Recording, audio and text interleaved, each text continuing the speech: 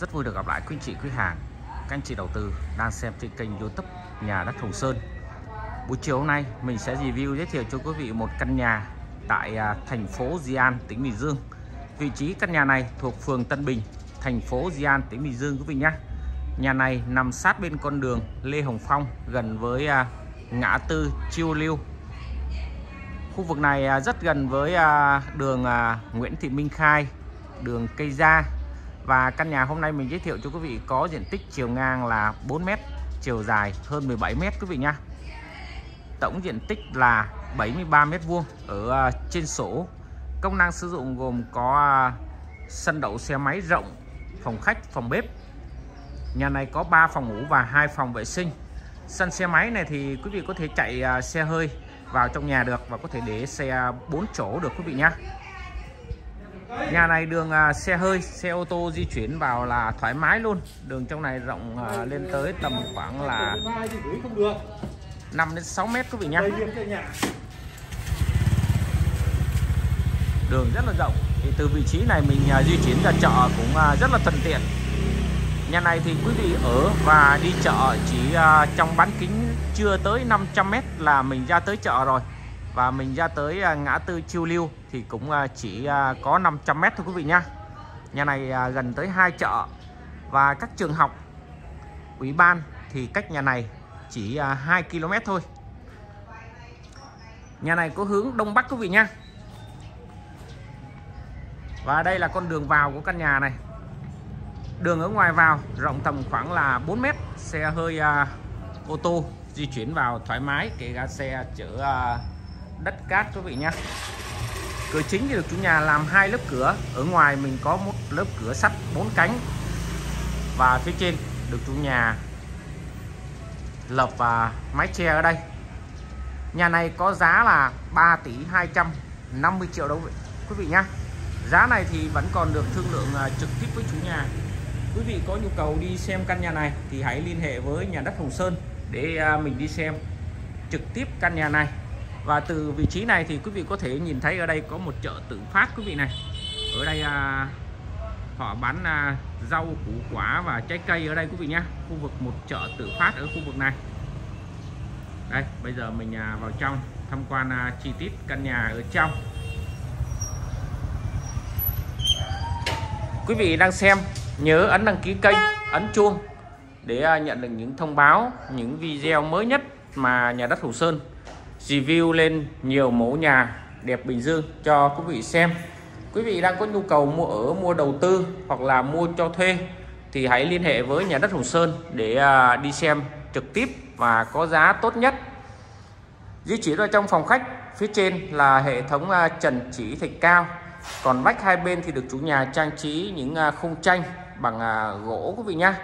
Chủ nhà xây tường 20 nên để những khung tranh bằng gỗ và dán à, giấy dán tường.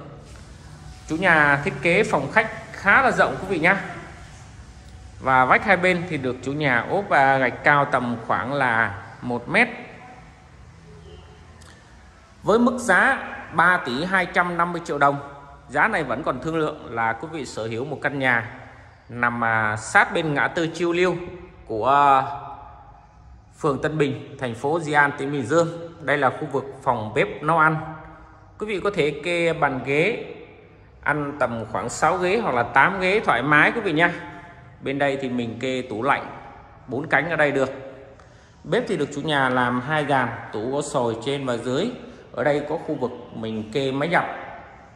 Và đây là khu vực à, phía cuối căn nhà có giếng trời ở đây giếng trời lên trên và đây là phòng vệ sinh ở tầng trệt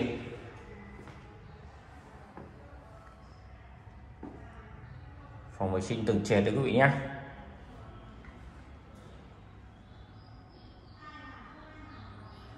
Quý vị có nhu cầu đi xem thì liên hệ với nhà đất Hồng Sơn qua số điện thoại 0973 114 255 hoặc số 0983 155 009 hẹn gặp mình ở ngã tư Chiêu Liêu, mình sẽ dẫn quý vị đi xem trực tiếp căn nhà này. Ngã tư Chiêu lưu thì à, giao nhau giữa đường à, Lê Hồng Phong và đường Nguyễn Thị Minh Khai quý vị nhé ngay chợ Đông Thành. Bây giờ mời quý vị lên trên để à, ta tham quan các phòng ngủ phòng à, thờ ở à, trên khu vực này. Nhà một triệt một lầu ở trên lộc tôn quý vị nhé lên lầu trên ở đây có phòng vệ sinh à, thứ hai và phía sau là khu vực giếng trời.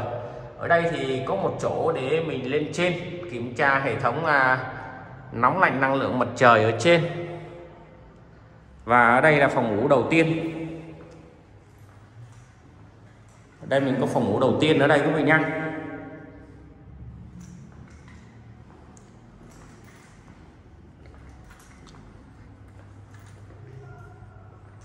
và bên đây là khu vực phòng ngủ thứ hai.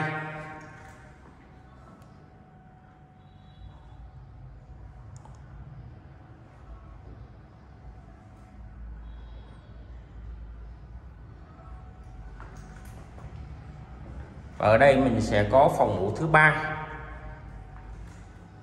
Phía trước là sân thượng à, ban công trước quý vị nhé. Phòng ngủ thứ ba đây. Nếu quý vị uh, sở hữu uh, phòng ngủ thứ ba thì sẽ không có phòng thờ hoặc là mình làm phòng thờ ở dưới.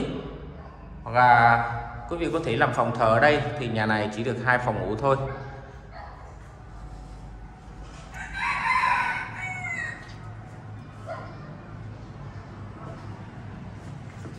Ở video của mình đến đây là kết thúc rồi. Quý vị có nhu cầu hãy liên hệ với mình để đi xem trực tiếp nhé. Cảm ơn quý vị đã theo dõi video. Mình à, xin được kết thúc video tại đây.